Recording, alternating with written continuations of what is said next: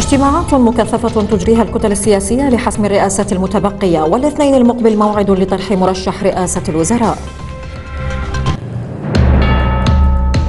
قبيل توجهه إلى السعودية الكاظمي يؤكد أن المؤتمر جدة لن يناقش التطبيع مع الكيان الصهيوني والبيئة والمياه والطاقة أبرز الملفات.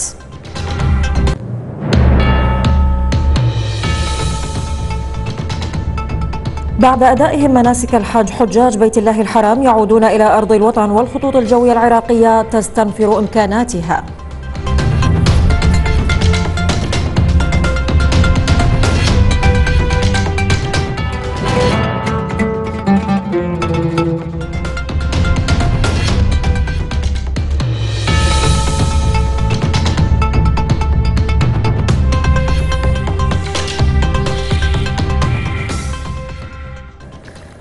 حياكم الله وجمعة مباركة.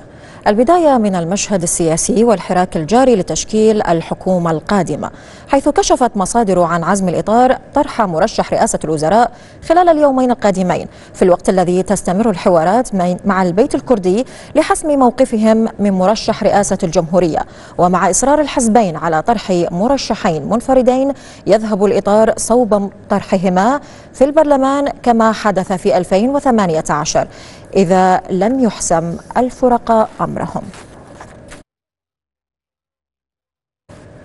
إلى ذلك كشف الإطار التنسيقي عن عقد الاجتماع المهم له لحسم تشكيل الحكومة الاثنين المقبل.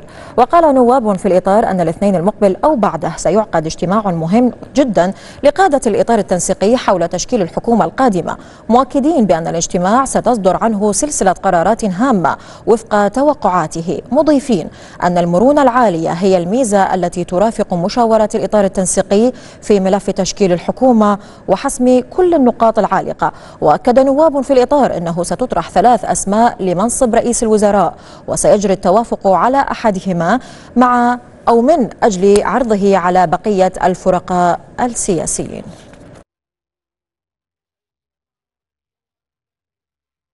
حراك سياسي غير مسبوق هو ما تشهده ساحة المشهد الحالية من أجل إنضاج الحكومة القادمة التي تتسارع بوادر تشكيلها في الأيام القادمة وسط دعوات لفرز الأخطاء وتصحيح المسار لبناء تجربة جديدة.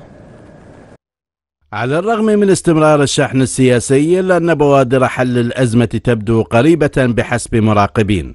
فالتوقعات تشير إلى إمكانية أن تشهد فترة ما بعد انتهاء عطلة العيد اختيارا لرئيسي الجمهورية والوزراء لا سيما بعد قرب وصول الكتل الكردية إلى حسم مرشح الرئاسة واتفاق كتل الإطار التنسيقي على شكل الحكومة القادمة والمتبقي هو طرح المرشح المقبول والقادر على قيادة المرحلة. وهذه الأيام أعتقد هناك اجتماعات لاختيار رئيس الوزراء وهذا مرتبط باختيار قبلها اختيار رئيس الجمهورية حتى يكلف رئيس الوزراء بتشكيل المهمة. طبعا مهمة صعبة وليست سهلة كما يعتقد البعض اختيار رئيس الوزراء وبرنامج الذي يجب أن يتوائم ويتلائم مع متطلبات الشعب. اليوم حسب تصريحات الإطار التنسيقي وقادته الحكومة حكومة خدمية الحكومة الخدمية تكون بتماس مع هموم الشعب مع مشاكل الشعب مع متطلبات الشعب. تشكيل حكومة خدمات ببرنامج حكومي قابل للتطبيق ويعبر بالبلاد من دوامة الأزمات. هو ما يؤكد عليه كثيرون. كون البلاد تعيش تحديات اقتصادية وخدمية وبيئية خطيرة تحتاج إلى حكومة قوية تعيد ثقة المواطن بالعملية السياسية. مسؤولية جدا قوية على الإطار التنسيقي يجب أن يكون دقيق في اختيار آه، رئيس الوزراء المقبل والإسراع باختياره لأن هنالك آه، أعتقد ترقب وهنالك من يحاول إثارة الفتن في الشارع العراقي وهنالك من يحاول سكب الزيت على النار. لذلك يعني ظهرت بعض الأصوات التي تنادي وهناك بين هناك اقتتال داخلي وبعض التسريبات وبعض التسجيلات المفبركة وبعض وبعض. وبالتالي على الإطار التنسيق حاليا أن يكون دقيقا باختيار رئيس الوزراء وأن يسرع في تشكيل الحكومة العراقية واختيارها بدقة فيما يتحتم على الكتل السياسية تكثيف الحوارات واللقاءات للوصول إلى حسم تشكيل الحكومة المنتظرة بعيدا عن المصالح الشخصية والفئوية مع أهمية دعمها سياسيا لتتمكن من تقديم ما يصبو إليه المواطن. والمهم عند المواطن هو الخروج بحكومة قوية تحقق الخدمات وتخرج البلاد من دوامة الأزمات. فحجم التحديات يحتاج إلى حكومة بإرادة قوية ومدعومة سياسيا. لقناة الفرات أحمد الزيدي بغداد.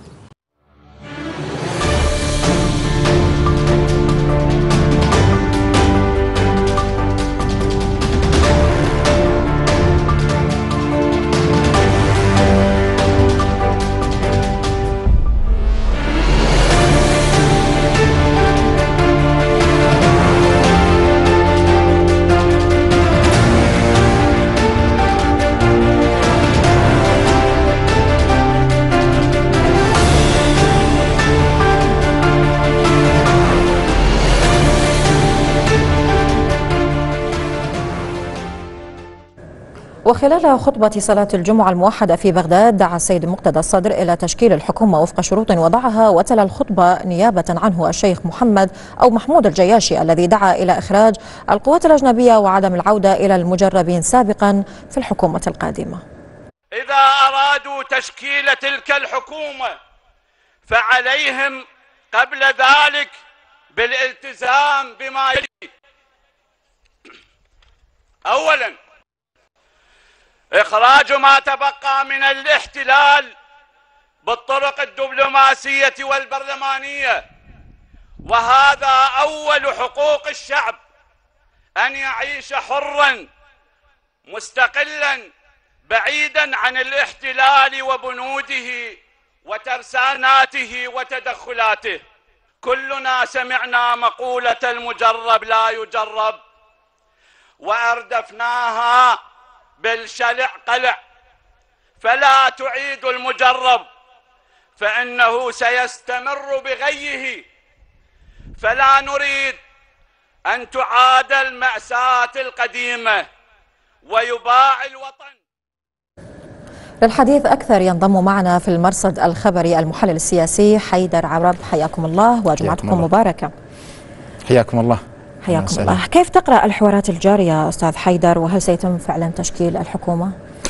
بسم الله الرحمن الرحيم. تحية لك سيدتي. الكريمة قناتكم ومشاهديكم الكرام. أنا أعتقد أنه بعد التغيير والحراك السياسي الأخير وتحديدا بعد انسحاب الكتلة الصدرية من المشهد السياسي والمشهد النيابي العراقي أصبحت بشكل واضح وبشكل جلي أن الكتلة نعم. الكبيرة هي كتلة الإطار التنسيقي وبالتالي أعتقد أن المبادئ التي أعلن عنها الإطار التنسيقي بقضية وآلية تشكيل الحكومة العراقية وضرورة أن يكون هنالك اتفاق نعم. ما بين القوى السياسية وبالتالي هذا الاتفاق أعتقد أنه الإطار التنسيقي استطاع أن يشكل آه، لجنة خاصة آه، أنا بحسب قراءتي ومتابعتي المشهد نعم. السياسي نعم. أنه نجحت هذه اللجنة حقيقة بتقريب كثير من وجهات النظر ولا سيما الأخوة الكرد الذين كانوا يختلفون بشكل واضح وبشكل كبير جدا نعم. وكانت حق العقدة التي كانت تحيل دون آه، أن يكون هنالك أو تشكل حكومة عراقية هي انتخاب رئيس الجمهورية العراقي وبالتالي أنا أعتقد ومن خلال التصريحات التي خرجت من الأخوة الكرد أن هنالك تقارب في وجهات النظر بضرورة أن يكون هنالك الاتفاق على شخصية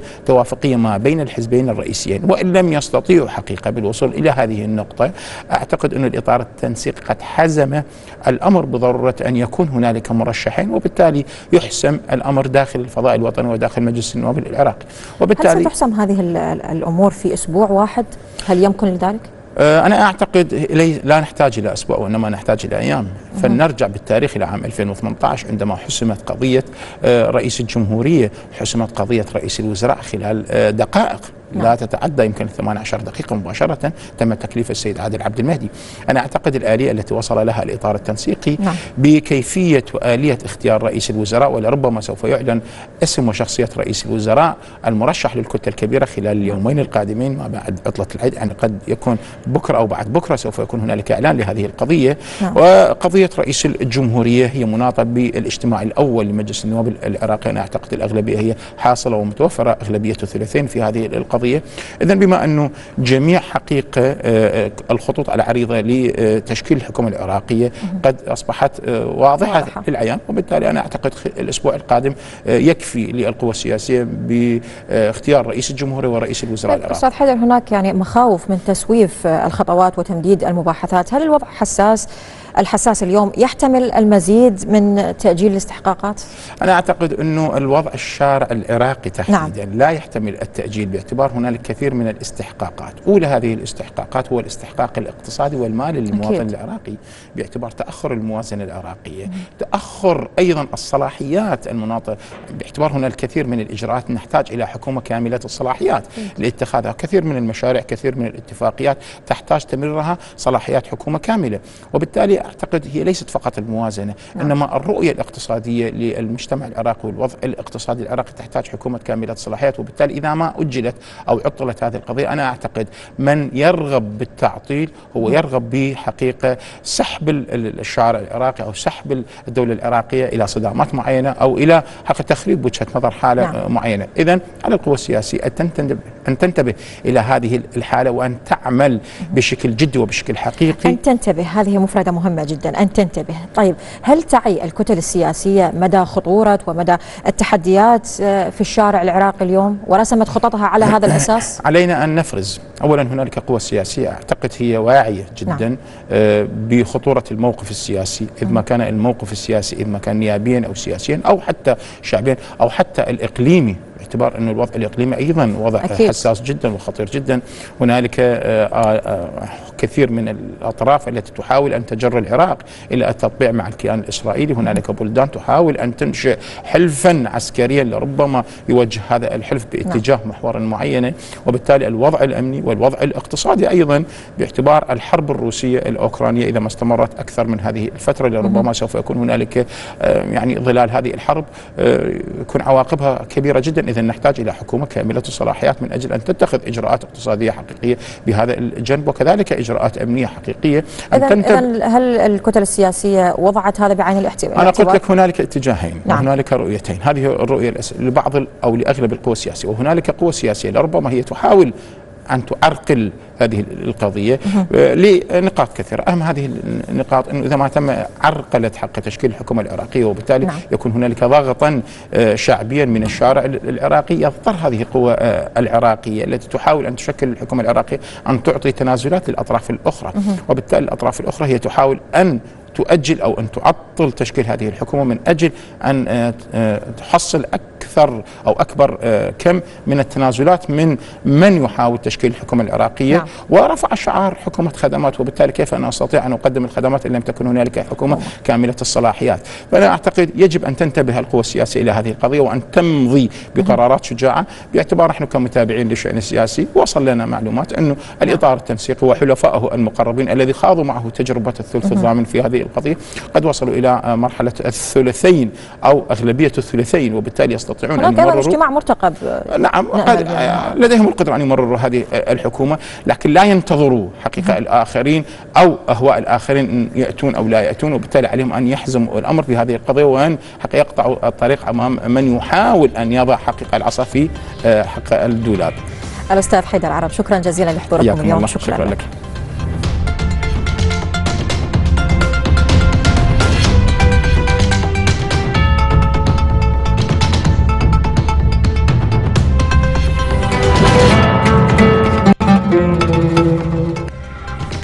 وزير التخطيط خالد بتال النجم يؤكد أن الحكومة العراقية تسعى لتنويع مصادر الدخل ودعم البرنامج التنموي.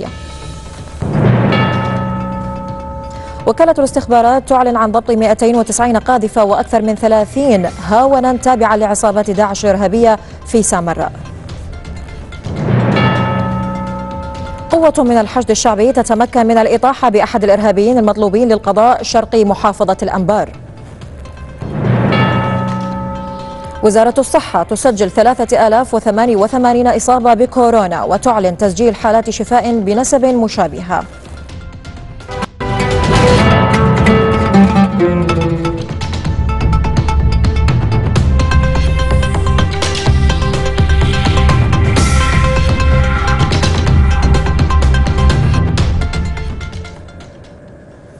يشارك العراق في القمة السعودية حيث سيمثله وفد يرأسه رئيس الوزراء مصطفى الكاظمي.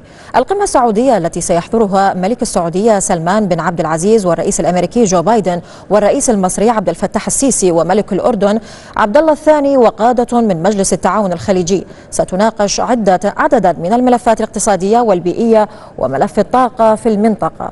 هذا ووصل قبل ساعات الرئيس الأمريكي جو بايدن إلى السعودية للمشاركة في أعمال القمة فيما توجه الكاظمي قبل قليل إلى المملكة للمشاركة في القمة.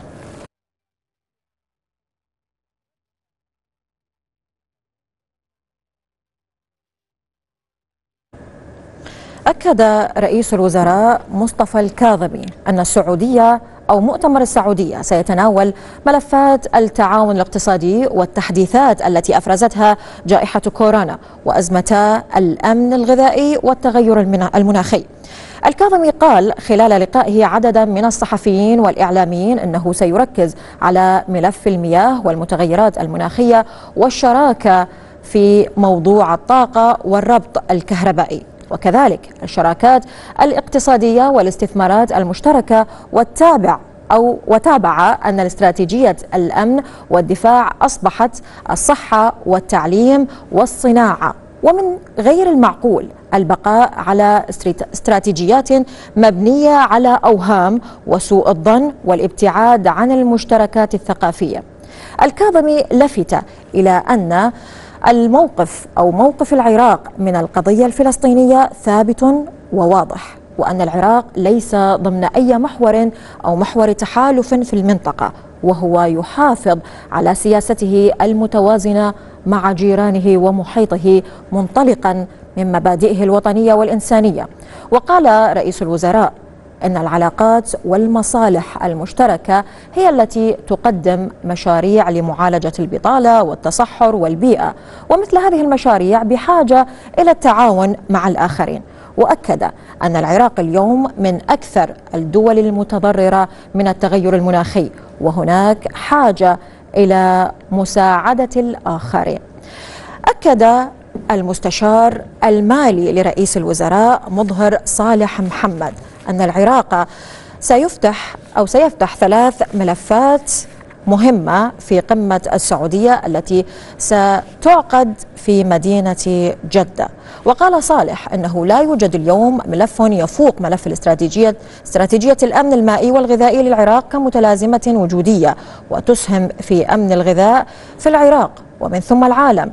وأضاف أن ملفي الغذاء والمياه سيكون لهما الأولوية في طروحات العراق بالقمة لكونهما يتعلقان بحياة الشعب العراقي ولا يعلوهما أي ملف آخر. وبشأن ملف الطاقة أكد صالح أن سياسة الطاقة العراقية كذلك تمثل أساسا حيويا في استقرار احتياجات ماكنة الحياة الاقتصادية في العالم على الرغم من أهميتها كرافعة مالية لتمويل التنمية الاقتصادية في البلاد. أكد مراقبون أن القمة الإقليمية التي ستعقد في المملكة العربية السعودية هي فرصة يمكن أن يستثمرها العراق من خلال توثيق التعاون العربي الاقتصادي. فيما دعا آخرون إلى بحث الملفات التي تخدم المصلحة الوطنية. تقرير حسين ياسين. أصداء إيجابية قبلت بها مشاركة العراق في قمة السعودية لا سيما وأنها ستناقش العديد من القضايا كالطاقة والأمن الغذائي والاقتصاد والبيئة والتي من الممكن للعراق. الاستفادة من خبرات البلدان المشاركة في القمة والتعاون معها للخروج بمحصلة ذات أبعاد إيجابية على العراق. هذه القمة مهمة ومشاركة العراق مهمة جدا من خلال توثيق التعاون العربي والتفاهمات العربية ووضع استراتيجيات لأمن المنطقة وكذلك الجانب الاقتصادي راح يكون حاضر في هذه القمة من خلال التبادل وتبادل المشورة وتبادل الخبرة ووضع السياسات العامة للحفاظ على هذه المنطقة وإبعاد هذه المنطقة عن الصراعات الدولية. أما القراءات الأخرى لانعقاد هذه القمة فقد ركزت على أهمية أن يكون العراق لاعبا أساسيا فيها ومواصلة التزام الحكومة بمنهج تطوير العلاقات الخارجية وحفظ المكانة الدولية للبلد مع التمسك بمبدأ الاعتدال والابتعاد عن سياسة المحاور. حضور العراق فيها يجب أن يكون حضور فاعل. يجب أن يستثمر العراق. هذه القمة لبحث الملفات التي تهم الشعب العراقي. لا أن تكون هذه القمة قمة يعني تعقد كما كانت القمم السابقة تعقد دون أن تحقق أي شيء للمنطقة وخاصة العراق. العراق الآن يمر بظروف يعني تحديات كبيرة آه، أمنية واقتصادية. وتأتي مشاركة العراق في القمة تلبية للدعوة الرسمية التي قدمتها حكومة المملكة العربية السعودية إضافة إلى مشاركة دول مجلس تعاون الخليج العربي وقادة كل من مصر والأردن والولايات المتحدة الأمريكية. ومع أهمية الملفات التي من المرجح أن تناقشها قمة السعودية تأمل مختلف شرائح المجتمع أن تنعكس نتائجها إيجابيا على الواقع العراقي. حسين ياسين الفراد بغداد.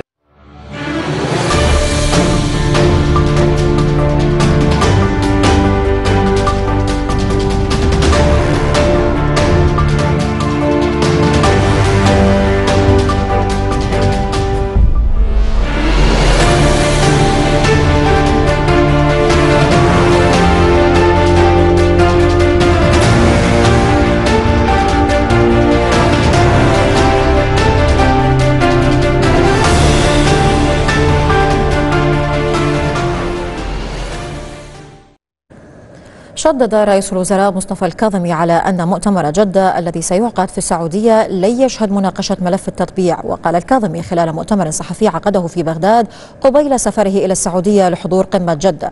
إن مؤتمر جدة سيناقش آفاق التعاون في ملفات الطاقة والتغير المناخي والأمن الغذائي باعتباره التحدي الأكبر في العالم والمنطقة. والحديث عن مناقشة ملف التطبيع غير صحيح إذ أن هذا الموضوع لن يطرح مطلقا. فيما يخص التحالفات ذكرت لكم قبل قليل لا يمكن العراق يكون أي محور. لأي تحالف عسكري أو محور آخر.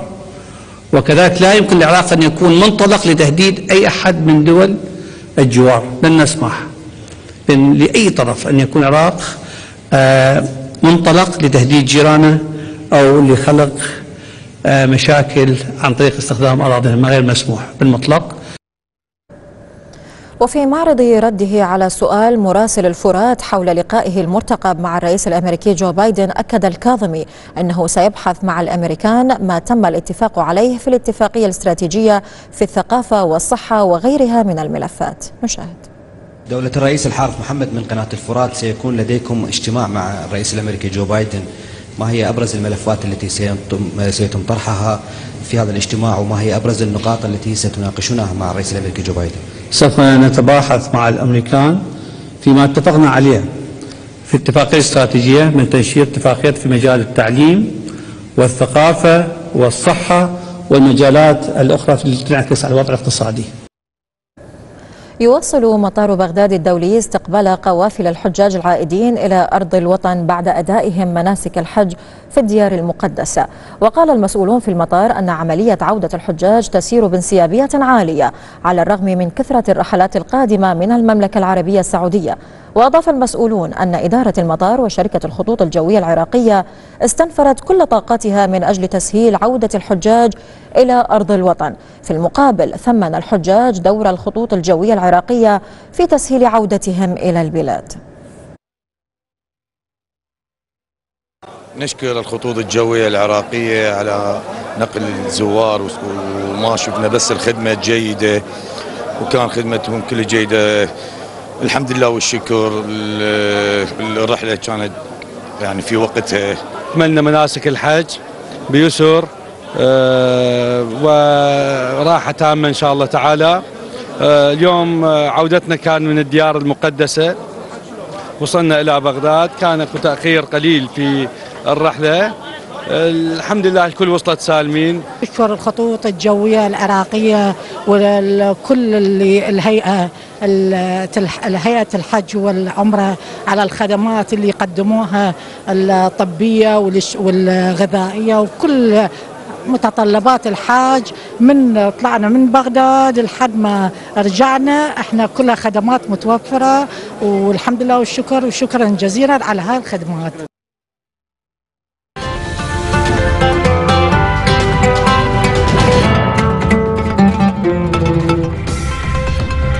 الآن ننتقل معكم مشاهدينا إلى ملف ال social media. إذ رحب كتاب رأي في مواقع التواصل بإنشاء وزارة الداخلية منصة لمحاربة الشائعات وإيضاح الحقائق بعد أن اعتبروها ظاهرة قد تجر البلاد إلى منزلقات خطيرة. عن هذا المشهد يغرد الكاتب عباس البخاتي في تويتر قائلا مفارقة عجيبة أن يجتمع تدني الوعي المجتمعي مع تطور هائل بوسائل إنتاج الأكاذيب وضخ الشائعات ليبقى المجتمع رهينة لإدارة أو لإرادة التفاهة والفوضى.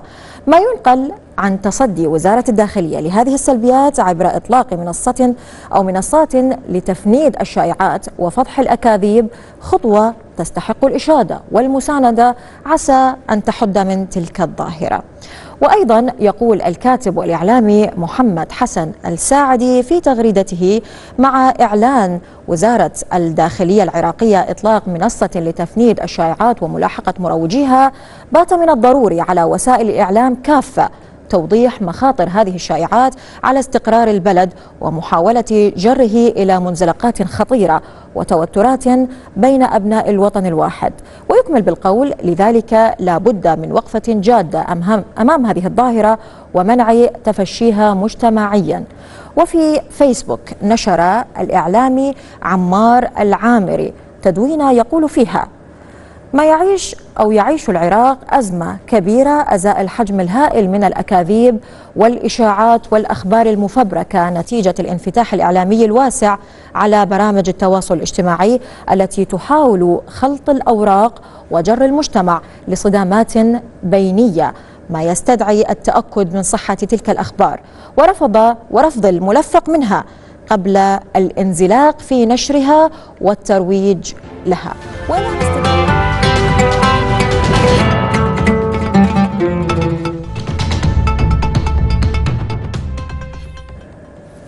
انشودة سلام يا مهدي. كأنها ترنيمة سماوية جاءت لتخبر أهل الأرض بقرب خروج الإمام الموعود. ذلك الهدوء والحماس الذي طفقت به ألسنة العالم وهي تردد عبر لغات مختلفة بمشهد إلحاح لتعجيل الفرج كأنها تتحسس قرب ذلك اليوم المنتظر بظهور الإمام المنتظر. ولا حيث تلك الأجواء الدامعة يأخذنا الزميل الحارث محمد في رحاب تقريره الآتي.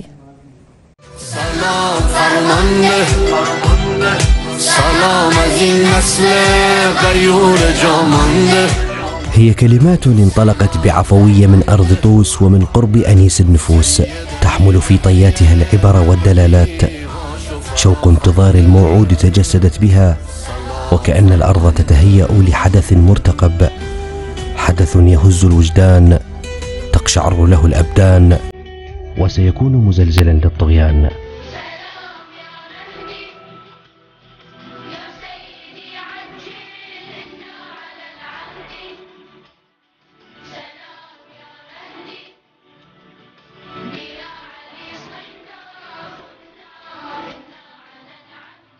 كلماتها والألحان جابت الأمصار والبلدان.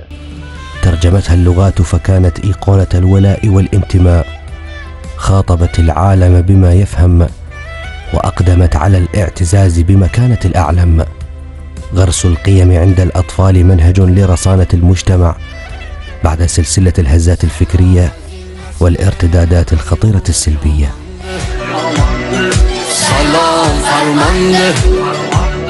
سلام فرمانده يشعر اللي يأدي واللي يجي قدم قدم يشعر بالأمان ويشعر بالبيعة الجديدة. نغرس الحب والأمل واللقاء بقلوب الأشبال.